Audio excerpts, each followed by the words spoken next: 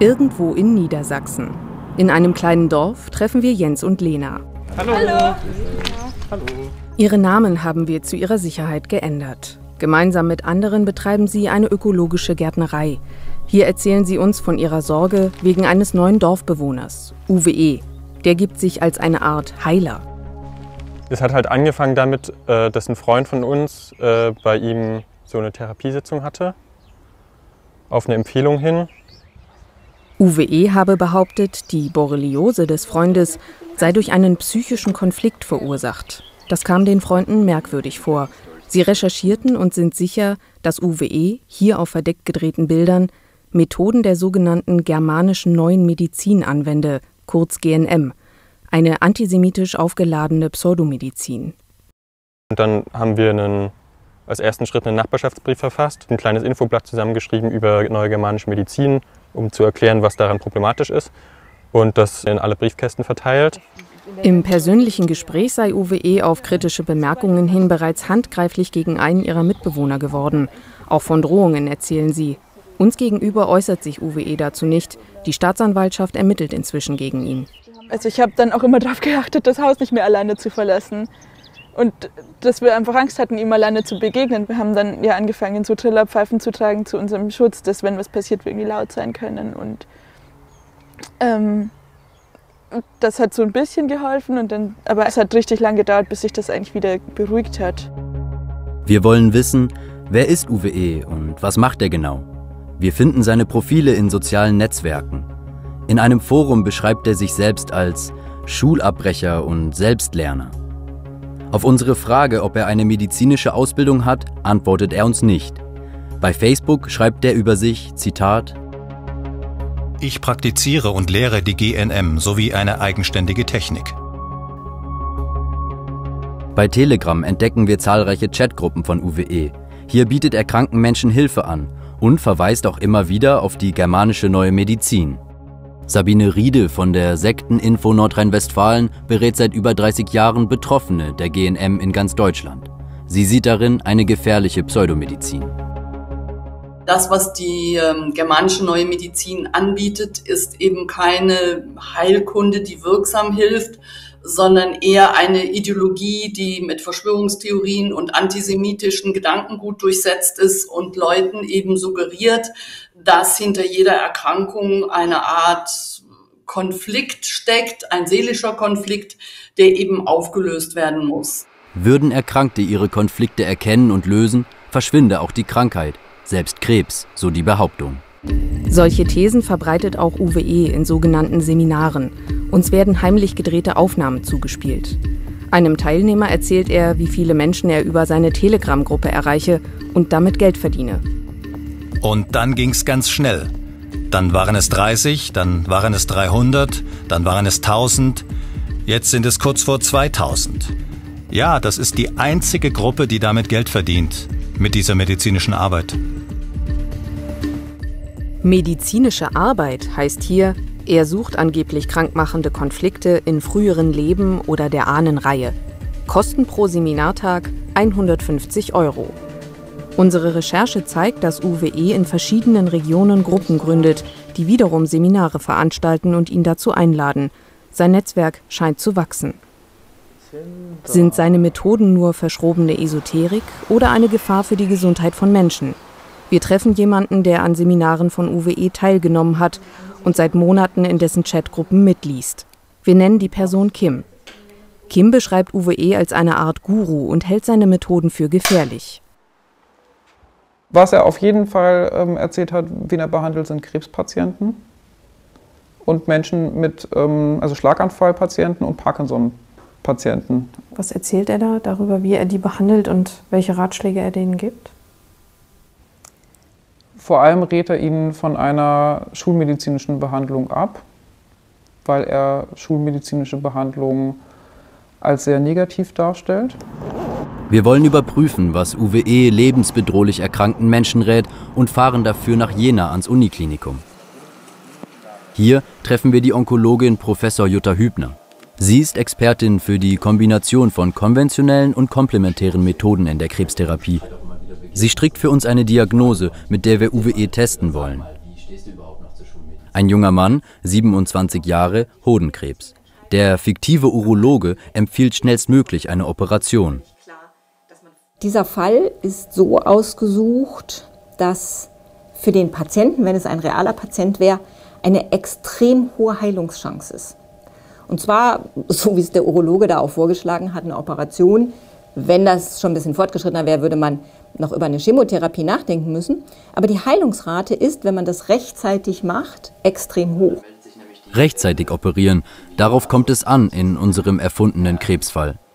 Wir geben uns in UWEs Chatgruppe als die Partnerin des Patienten aus, schildern die erfundene Diagnose und die Angst vor der OP. Der Rat von UWE kommt per Sprachnachricht. Wenn du nichts machst, wird es gut werden. Die Zeit ist mit sicherlich deutlich länger und durchaus äh, stabil, aber manchmal eben auch nicht, je nachdem, welches Drama ihr da sichtbar machen müsst, damit, dass ihr auf etwas Bestimmtes kommt.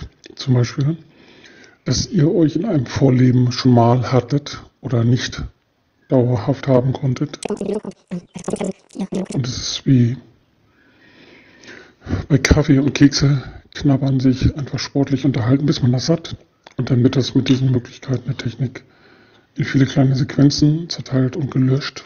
Und weil es dann erkannt ist, ist es dauerhaft stabil und gut. Sein Rat, den Konflikt finden, darüber reden, abwarten. Wir spielen die Sprachnachricht der Onkologin vor. Naja, das, äh, das ist absolut gefährlich, denn äh, solch ein Tumor gerade bei jungen Menschen kann sich relativ rasch entwickeln. Wenn man jetzt abwartet, der Tumor fängt an zu streuen, es bilden sich Metastasen, dann ist es einmal so, dass die Heilungswahrscheinlichkeit relativ schnell abnimmt. Und der zweite Punkt, die dann notwendigen Therapien sind sehr viel intensiver, ausgedehnter. Da ist da noch eine Chemotherapie und alles dabei. Das heißt, auch die Folgen für den Betroffenen sind wesentlich heftiger. Und das Zeitfenster ist einfach äh, bei solch einer Geschichte dann essentiell. Man hat immer Zeit zum Nachdenken. Das ist ganz wichtig für unsere Tumorpatienten, aber eben nicht Wochen und Monate lang. Wenn sie auch noch so gefährlich sind, strafrechtliche Konsequenzen haben medizinische Ratschläge von sogenannten Heilern selten. Das zeigt die jahrzehntelange Erfahrung der Sekteninfo NRW. In den meisten Fällen kommt es gar nicht zur Anzeige, noch viel weniger kommt es zu einer Verurteilung und wenn es zu einer Verurteilung kommt, sind es in der Regel Geldstrafen. An sich bin ich der Meinung, dass unsere Gesetzeslage ausreichend ist und äh, dass es nur konsequenter angewandt werden müsste. Es brauche Weiterbildungen für Staatsanwaltschaften und Behörden. Tatsächlich ist es in Deutschland verboten, jegliche Art von Heilkunde zu betreiben, ohne eine ärztliche Approbation oder eine Heilpraktikergenehmigung. Wer das trotzdem tut, macht sich strafbar. In ihrem Fall kam der Heiler mit einer Geldstrafe davon. Wir treffen Jacqueline Klaus. Ihr Vater hatte Krebs an den Rachenmandeln. Im Vertrauen auf die GNM lehnte er alle wissenschaftsbasierten medizinischen Behandlungen ab. Das wuchs dann hier immer mehr und mehr. Und hier hat der Heiler immer noch gesagt, das ist doch völlig normal. In diesem Stadium? Ja, natürlich. Und das ist ja auch das Perfide bei diesen Heilslehren. Am Ende wird dem Patienten die Schuld gegeben, weil er hat dann doch nicht fest genug daran geglaubt. Er hat seinen Konflikt nicht ordentlich genug bearbeitet. Ne? Und schuld sind natürlich auch noch dann die Angehörigen, die dagegen gearbeitet haben. Ihr Vater starb 2015. Exakt hatte über den Fall berichtet. Über einen alten Freund war ihr Vater mit der GNM in Kontakt gekommen und traf auch deren Erfinder, Rike Gerd Hamer. Dem war bereits wegen seiner unwissenschaftlichen Methoden die Zulassung als Arzt entzogen worden. Mehrfach saß er im Gefängnis, weil er Patienten geschadet hatte, bis hin zu Todesfällen. Und Hamer war ein Antisemit. Übrigens in Deutschland kriegt kein Jude Chemo. Kein Jude kriegt Chemo. Ne? Das müssen wir festhalten. Ne? Und die allermeisten Onkologen gehören dieser Glaubensgemeinschaft an. Sie behandeln ihre jüdischen Patienten ohne Chemo und die nicht-jüdischen mit Chemo. Verschwörungsbehauptungen. Antisemitisch und schlicht falsch. 2017 stirbt Hamer. Andere selbsterklärte Heiler verbreiten seine Lehre bis heute. Deshalb bewegt das Thema Jacqueline Klaus noch immer. Sie will auch sieben Jahre nach dem Tod ihres Vaters warnen und zeigt uns die Lehrbücher der GNM, auf die ihr Vater vertraut hatte. Zu jeder Krebsart haben sie das Passende. Sie sehen mal, was hier für Beispiele kommen. Eine Frau muss in der Firma immer schlucken. Ne? Ein Kind werden Süßigkeiten verboten. Stattdessen soll es Gemüse essen. Das könnte zu, könnte zu Krebs führen. Sie nennt die GNM eine gefährliche Medizinsekte. Seit Jahren unterstützt sie andere Betroffene. Immer wieder melden sich verzweifelte Menschen, deren Angehörige in die Szene geraten sind. Also da geht es tatsächlich um komplette Gehirnwäsche. Und die werden ja, wie gesagt, auch in Gesprächen, in Broschüren darauf vorbereitet, dass wahrscheinlich die ganze Familie dagegen reden wird. Und das passiert ja dann auch. Ne? Ich habe Betroffene, da sind ganze Ehen zerbrochen, äh, Geschwister haben sich äh, getrennt voneinander, haben keinen Kontakt mehr, weil der eine war GNM-Anhänger, der andere nicht. Also das ist schon eine schwerwiegende Geschichte. Es gab, also Schmerzmittel zum Beispiel habe ich auf jeden Fall nie bekommen, Antibiotika auch auf keinen Fall. Philipp erzählt uns von seiner Kindheit. Seine Mutter vertraute auf die GNM und andere esoterische Methoden. Er möchte nicht erkannt werden, seinen Namen haben wir geändert. Ich bin aufgewachsen mit dieser Einstellung von, in der Gesellschaft sind böse Mächte am Werk und wir müssen uns dagegen auflehnen sozusagen und vor allem müssen wir uns selber von negativen Einflüssen reinhalten sozusagen und das spielt dann schon wieder auch in diese ganze Medikamentensache mit rein. Heute sieht er die GNM kritisch. Er selbst habe Glück gehabt, als Kind nie ernsthaft krank gewesen zu sein. Und da gibt es ja in Deutschland äh, Gesetze, die sagen, Minderjährige müssen behandelt werden, äh, wenn bei ihnen Krebs diagnostiziert wird. Und nach der GNM ist das halt das Fatalste, was man machen kann. Nach der GNM sterben die Leute ja nicht am Krebs, sondern an der Behandlung. Und meine Mutter wollte unbedingt verhindern, dass falls bei mir Krebs diagnostiziert wird, ich behandelt werde. Und das nehme ich ja auch ab, dass sie das wirklich aus Liebe gemacht hat und weil sie es einfach, weil sie den Scheiß einfach geglaubt hat. Das hat aber auch dazu geführt, dass es mir wirklich Angst gemacht hat, weil sie wirklich sehr emotional geworden ist, immer dabei und gesagt hat, du weißt, wenn bei dir irgendwas diagnostiziert wird, dann müssen wir schnell sein und dann müssen wir sofort aus dem Land reisen. Ähm, und am besten solltest du schon eine gepackte Tasche unterm Bett haben. Als Zwölfjähriger fuhr er mit zu den Treffen der Szene, spät abends in Gasthöfen auf dem Land. Eine Freundin habe die Mutter mit der GNM vertraut gemacht. Die hat gesagt, ja, das ist irgendwie eine verbotene Lehre in Deutschland. Die Juden verfolgen dich, wenn, wenn du das machst und, und, und, praktizierst. Deswegen müssen wir das geheim machen. Wir dürfen niemandem davon erzählen, dass wir auf diese Treffen fahren. Im Nachhinein finde ich es natürlich sehr erschreckend, dass da auch sehr oft halt die Juden das Thema waren und der Holocaust ähm, und ich da mich an mindestens zwei explizite Gespräche zwischen mir und einem, einem der alten Männer da erinnere, äh, der mich darüber aufgeklärt hat, dass es den Holocaust äh, nicht gab und dass äh, das alles eine Erfindung der Juden ist. Das heißt, innerhalb der GNM-Szene, die du erlebt hast, waren wirklich die Juden sozusagen das Feindbild? Ja, schon. Es war, es war nicht das Hauptthema, auf das ich fokussiert wurde, aber es war, es war ein Konsens, auf dem dieses Thema aufbaute.